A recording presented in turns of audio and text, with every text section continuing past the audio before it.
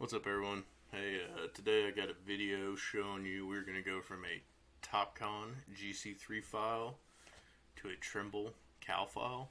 Um, I've got another video that shows you going the other way from a CAL file to a GC3. This will get you going back the other way. Um, you know, just putting this out here, um, you know, this is probably not the only way to do this. If you know a faster, easier, better way, obviously leave it in the comments or share or make your own YouTube video. Um, this is the way that I do it, and it works for me. Um, but you know, nothing's perfect. This is the way I do it. It's not the simplest, but it, it is it does work. Um, so, yeah, just wanted to put that out there. To do this, you got to have Business Center. This is version like 4.10 or something like that. I don't know. It's one of the last free versions that I could use that uh, allows me to do this kind of stuff. And then I've got uh, 3D Office, Topcon. This is free. I've tried to share these and stuff in the comments in the past, and it's never really worked out good. So I will try to I think of a good way. If you guys got a suggestion, a good, safe, secure way that I can share access to this kind of stuff. Um, maybe I'm just doing something wrong, but I do my best to get that stuff to you guys, and just so any suggestions there would be appreciated. So basically what I got here is I wasn't going to make you sit through the whole process, but over here I've just got a GC3 file, which is the calibration file for Topcon. You can see I got my control points. Um, what I did is I went ahead and put all these in, except for 0.5 here. I was going to show you how I added that, so I've got the other ones done. So all I've done to do this is I just go to create point, and so 0.5, I'm going to enter my grid. So I'm going to go ahead and open this. So my, I'm going to be on grid. I'm just going to copy these over here and I'm just copy pasting these. I'm not doing anything special.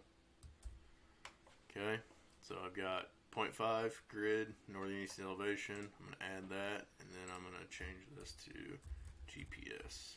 5. That lets me know that I'm going to switch to a global coordinate. And now I'm going to use my lat long height.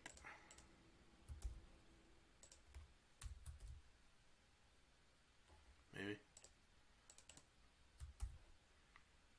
Hmm, I think I missed a keystroke there. I don't know why it's not liking that try this one more time. There we go. Sometimes you forget to take the exclamation point out of there, it'll give you a hard time. So now I've got that, I'm gonna hit add. Oh, so I did already do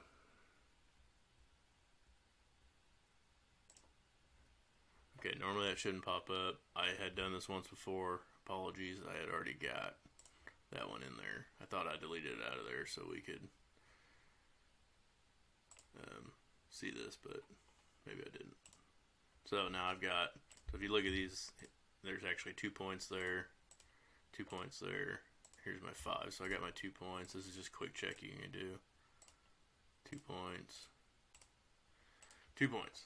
All right. So now I've got one, two, three, four, five, six, seven. All right. So now what I'm going to do I'm going to keep this up because I'll need it. But if I go to my field data up here, this is the site calibration. So now I can go over here where it says points list. This is the um, settings we want, points list. But now I can just go, so now I need a GS point, GNSS point, which is my global point. So I have to click on this to get my cursor in there. And it'll just automatically populate those based off me clicking. Sometimes you want to just make sure you get the same ones here. But that's why I like doing the GPS one and then just the regular.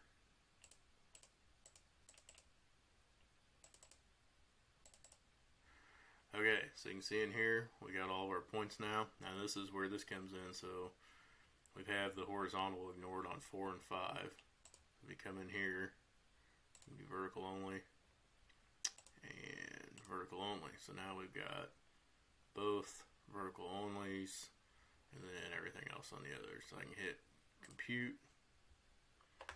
So here it spits out my residuals. It's a little easier if you click on this little clipboard.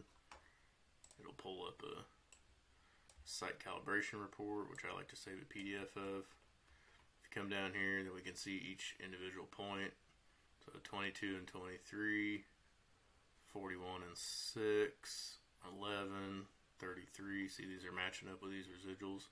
That lets me know I got all my numbers over there correctly and I didn't fat finger something, do something wrong. So, get that out of the way.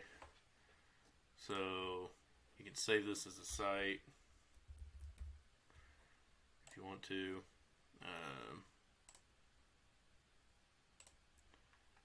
so now I have that my site. Now this is something that hopefully someone's got an answer for, but um, this is the way I've always had to do it. So now if I come to my project, I go to export. So in here you can do a DC file. There's also a cal file. I don't remember where it is. I kind of just ignored it because I never used it because I never could get it to work. Um, let me find it. Trying to remember, is it in construction? It might be in construction. Um, this is probably something just with me old running old stuff. Um, I can't remember where the heck it's at. There's a spot you can export a .cal file, um, and it's not labeled what you think it would be, of course. So you can do a JXL, which I like to use, but what I've been doing is doing it as a DC. I just do select all, and I just map. Let's call it my desktop. We'll call it one, two, three, four. DC. And like I said, this may not be perfect, but this is what works for me. So if you got any suggestions that don't involve spending thousands of dollars for TBC, I'm, I'm open to hear them. Um, so then I hit export. So now I got a DC file. I'll drop this down and pull this DC file over here. So this DC file, all I ever do with this is I just rename it to a 1234.cal.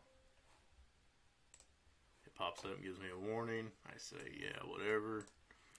And then I, it, so LSS Toolkit's a video I haven't covered that I haven't done, but it's a program out there that'll do this swap for you from a GC3 to a CAL. It's a really, it's a good program, but I've just, early on I had some problems with it. Um, and it just, I'm sure it's more functional now, but it's a video that I need to do, but it pops up when the cal files this. But I've dropped this in machines, data collectors, all kinds of different things, and works just fine for me.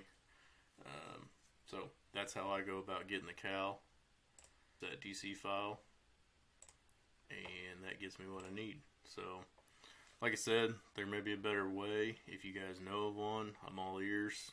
Uh, shoot me a message or leave a comment or whatever. Uh, appreciate any feedback I get. I try my best to get you guys good information and help however. Um, I appreciate everybody subscribing. That's pretty cool. Just hit a thousand uh, subscribers. So, yeah, appreciate the feedback. I'll do my best to engage as much as possible. If you guys got a video that you want to see or something I may be able to help with, let me know. I've got a list uh, that I keep that I try to get done whenever I get free time, which isn't as much as I'd like it to be, but so if you got anything that could be real pressing, um, you know, I appreciate all the guys who message me and leave comments and stuff. I'll do my best to get whatever I can out there. But something kick, something's kicking your butt, let me know, and uh, we'll see what we can do. All right, you all have a good one.